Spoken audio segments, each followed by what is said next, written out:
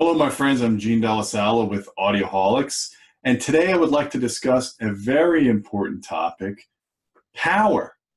How are you guys delivering power to your home theater equipment? I see a lot of people bragging about their giant amplifiers, about how many watts, thousands of watts they can deliver to their home theaters. But a lot of people aren't doing dedicated outlets to these power amplifiers. In fact, they're using shared outlets probably the same outlet that their teenage daughter in the next room is using to blow dry her hair. So, what happens when you're using a shared outlet? What kind of power are you really getting into your amplifiers, and how much are you losing as a result of not having a dedicated outlet? That's what I'd like to talk to you about for a little bit here. I put together a little editorial and I also put some measurements together of a real world amplifier that I'm currently having under test this is quite a hulking amplifier. It's the Anthem STR uh, two channel amplifier. Retails for about $6,000. I'm currently reviewing it. This is a monster. It's 600 watts times two into four ohms, both channels driven. Very beefy amp section in it. And you can see here, it's got two giant toroids, two pairs of heat sinks with output devices, 16 output devices per channel. They're bridged together. That's why you're getting that kind of power. This is the kind of amplifier that you want to feed dedicated power to, and I'm going to show you why in a little bit after we talk about some of the editorial considerations of what we are discussing. So if you look at a typical outlet that's in a domestic situation, now I'm, I'm, focusing mostly on USA, which is 120 volts. Obviously, if you're in Europe and you're 220, or if you're in Japan or Asia, it's 100 volts. So it's the same kind of principles, just different voltages that you're working with. Typically, uh, an outlet in a domestic situation is 120 volts, 15 amps. That gives you an output of about 1800 watts max. If you try to exceed the 1800 watts for any extended period of time, you're probably going to trip a breaker in your uh, garage. I don't know if anybody's ever done that. If you're blow drying your hair and somebody plugs in a, a uh, vacuum cleaner into the same outlet and turns it on, all of a sudden you have no power to that circuit. You hear people screaming, they can't dry their hair, and you got to go out the garage and, and flip the switch. Anyways, that's the kind of situation that we're talking about here. Now, when you move up to a dedicated 20 amp 120 volt line, you get a 20% increase in available power. So you get about 2160 watts available on a 20 amp line. Now, 20% doesn't sound like a whole lot, but it actually is a pretty good amount. Not only because it's a, it, it gives you a few extra hundred watts uh, of power, but it's really because you're getting a dedicated outlet. You're not sharing this outlet with other devices that are plugged into your switch or your outlet um, circuit. So I wanted to go over basically a scenario if you're setting up a home theater in your family room. I wanted to show you the kind of power considerations you you have to think about. So if you have, let's say, an HDTV, typical HDTV will consume a couple hundred watts of power, depending on what technology you're running. Then you have like an AV receiver. You know, if you have a thousand watt, a thousand dollar receiver, it could consume, um, you know, around 800 watts. Some of them are more powerful. The older receivers that had bigger amp sections in them, like the old Denons and Yamahas, those things can use a full 12 to 15 amps of wall current. In fact, when I had the Denon AVR 5805 years ago, that was a 10 channel, 170 watts times 10. That had a dedicated outlet because that thing was a monster. You don't get that as much these days with the mid level receivers, but they are still power hungry, especially because you're driving nine, sometimes 11 channels with them. So let's just use 800 watts as an example. And let's say you have one subwoofer plugged into the same outlet that consumes up to 1,000 watts. You got a couple of source devices, whether it's a Blu ray player or a couple of Fire Stick TVs and you're looking at a total of about 2100 watts. Now, in most cases, you're not consuming that kind of power steady state. It's a good rule of thumb to say you take the total wattage that you're using on that circuit divided by four, and that's the kind of wattage you, you have to see uh, to balance the load of that outlet. So in this scenario, this is not such a bad thing if you're not sharing the outlet and it's a 15 amp outlet, you're only using about a third of the power capability of that outlet as you can see here, it's under 1800 watts, it's 525 watts. You're probably okay. But now what happens when you start plugging in light fixtures? You know, there are outlets that typically have light fixtures in the ceiling and they use the same circuit in many cases. If you're using 460 watt bulbs, you're consuming an extra 240 watts and that's continuous. We're not talking about uh, divided by four in that case because that light is always on. So as you start doing that and you start adding that to the power here, you're getting closer and closer to that 1800 watt figure, especially if someone plugs in a vacuum or they start adding more devices over time. You start getting into an area where you're exceeding the load limits for that outlet.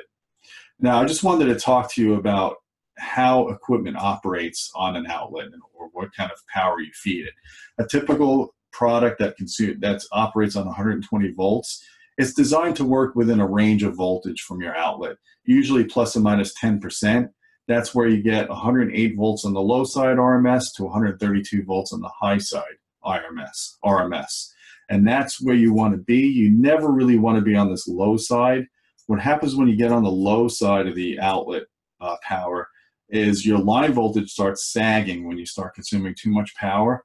And the amplifier, for example, is trying to compensate, it's trying to pull in more current that could actually damage an amplifier if you drop below the 108 volts, if you're dropping below the operational voltage that it's designed for. That's not a good thing. The other thing that can happen is if, as you start sagging the line and going below the 108 volts, the amplifier has what's called rail voltage that the output devices have to work on. That's how it amplifies a signal. Signal starts out small in the preamp and then it gets larger in the voltage stage and then the current has to has to um, provide all that power to your speaker. If you drop the rail voltages down, you start clipping that amplifier sooner, which means that the amplifier is going to distort way before its rated power. So, for example, if you have a 200 watt per channel amplifier that is on a sagged line, that amplifier could clip way before 200 watts. You could clip at 100 watts or even less, depending on what kind of load conditions you have. The other thing you have to look at too is there are cases, it's rare, but you could get an overvoltage situation what happens in that situation is if the line voltage is too high, you can operate that amplifier with a higher rail voltage, and that could damage capacitors that are meant to work within a few volts of that rail. So I'm not really going to talk about that. That's really not the focus of this. The focus is to make sure your line voltage isn't sagging because you're overdriving your outlet and you're robbing your amplifiers of power. And that's really what I wanted to discuss here. So I wanted to show you some real world measurements that I took on that Anthem STR. And what I did was I took measurements of that amplifier on a 15 amp shared outlet, this outlet in this room that has all these lights plugged in. And then I did the same exact tests on a dedicated 20 amp line that uses nothing else that's plugged into it. And I wanted to show you the power differences. So if you look just with one channel driven at four ohms, this amplifier at 15 amp shared outlet was able to deliver its rated power of 600 watts. It actually delivered 643 watts at 0.1%, 675 watts at 1% distortion. But check out what happened when I had a dedicated 20 amp line. Now I have a little uh, measurement gaffe here. This should be one channel driven here. But anyways, that 600 watts, I was able to now have more available power. I was able to get 723 watts at 0.1%, 763 watts at 1%. So just with one channel driven, even though I had enough available current on that outlet, I was able to get more power to that amplifier because that line voltage wasn't sagging. It kept the rail voltages higher. And of course, Anthem was conservative with this amplifier and it was it's delivering more than its rated 600 watts. So look what happens when we have two channels driven. At two channels driven with four ohms, this amplifier is rated at 600 watts a channel times two, I couldn't get more than 536 watts out of it at 0.1% and 562 watts at 1%. And what was happening is I saw the lights dimming above me as I was running this test, and I monitored the rail voltage with an AC meter, and it dropped from about 116 volts RMS down to 106 volts. So again, I was operating in that dangerous region below the minimum voltage, below the 108 volts RMS. And that is not a good situation to be in. So look at how the power goes up now when I run it on a dedicated 20 amp line. Remember 536, 562. Now we're at 671, 708. So that's a significant increase in power available. If I did not test this amplifier on a dedicated line, I would have originally thought it didn't meet its power spec. I would have been all over it saying Anthem is lying about their power. Their 600 watt amplifier can't deliver more than 560 watts. You guys would be bitching because you would be spending six grand on an amplifier that doesn't meet its power spec. Well, it does meet its power spec. You just have to be careful and give it the right amount of power. As Scotty said, more power. We need more power to the warp engines. So as you can see here, there is benefit to having a dedicated outlet for a big hulking amplifier like this. And I wanted to show you a little bit more of the calculations I did to make you feel comfortable about that. So here's just a comparison table I wanted to show you. We look at about a 25% increase in power available by having that dedicated amp uh, outlet for this big power amplifier. That's significant. But what's interesting to note is why, if we're only delivering 670 watts times two, you know, if you want to do the math on that, it's well under the 1800 watts, right? Well, you got to consider the efficiency of the amplifier. This is a class AB amplifier. So in the case where we're looking at the 15 amp line at the 562 watts divided by 78% efficiency, we're looking at delivering 1440 watts. And that's why the line voltage was sagging because we're getting close to that 1800 watts. Now, in the case of the 20 amp line, when I was able to deliver 708 watts times two, we were pumping out 1800 watts of power consumption. Obviously, this exceeds the 15 amp line. It would trip the fuse. Couldn't even get that far to keep the distortion level uh, within check. Because when I test amplifiers, I test at under 1%. I don't like driving amplifiers to hard clipping. If you could see an amplifier clipping on a scope, if it's a square wave on a scope, that's not useful power for a speaker. I'm very conservative when I measure amplifiers. I like to give you the power spec at 1% and 0.1% and even lower sometimes. So it definitely is a recommendation that you guys run a dedicated outlet.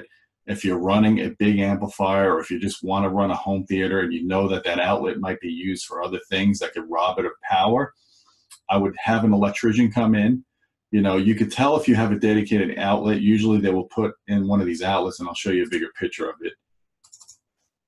Usually you will see that little T kind of mark for the um, one of the power strips here. That means you have a dedicated 20 amp line. That's kind of like a hospital grade line. You'll see that at hospitals often. I've got about three dedicated outlets in my home theater room just to power my rack of equipment. And in fact, um, what happened when I ran when I built my home, the electrician forgot to put a dedicated outlet for my subwoofers in my home theater room. So I have two of my five subwoofers running on a shared line. And if I leave the light fixtures on at the ceiling because it shares that circuit, and I start hitting some really hard bass, like if I listen to deadmau5 or some kind of techno music that's got a lot of bass, I can see the light cans dimming every time the bass notes hit. Because I'm running two Velodyne subs, the DD15 pluses, and they can consume up to 2,000 watts each. So again, you do that calculation, divide by four, and you're at over a thousand watts of power consumption when you're hitting that bass hard, and the peaks go even higher than that fourth, one fourth estimate. And you can see why the line voltage is dropping, the the um, outlet is dimming, or the light fixtures are dimming as a result it means that you're running out of power and you're not giving the right, amount of power to that amplifier to deliver its max output. So that's about all I wanted to tell you guys. Um, take a look at this article if you want more explanation. But anytime you're able to run a dedicated line, even if it's a dedicated 15 amp line, it's still better than using a shared line. When you start plugging in various amplifiers, especially if they're the class AB that use more power than a class D, get a dedicated outlet. Get two dedicated outlets if you can. If you're building a home now, talk to your electrician. Tell them, hey, I want to run dedicated outlets to my home theater system. Usually they will do it correctly. They won't just put a 20 amp fuse on a 20 amp line. They should use 12 gauge cabling. Remember, you want lower gauge cabling so you have less I squared R losses due to heat. You don't want to run thin cable when you're putting a lot of current through it because then you lose your power through heat through the wire. So your electrician should know this, and I would recommend checking with them if you're running uh, an outlet now to your home theater system, or if you're retrofitting your home theater system. Talk to an electrician, make sure they know what they're doing. Tell them you want dedicated 20 amp lines, and then you should be good to go. Then you'll have all the power you need and you will thank me for it when you start getting your SPLs to the levels that you need to shake your cranium, to shake your spinal column, and to also have the bragging rights that you have a 300 watt times 7 amplifier that can actually deliver its per channel and all channels driven spec if you feed it enough power. So, guys, I'm kind of curious are you running a dedicated outlet on your home theater? How many dedicated outlets are you running? Give me some stories down below in the comment section. Tell me if you've tripped breakers in the past when you plugged in too many amplifiers into your outlet, or if you're just if your daughter turned on the hair dryer and it shut off your home theater in the process. I love hearing these kind of stories. And guys, until next time, keep listening.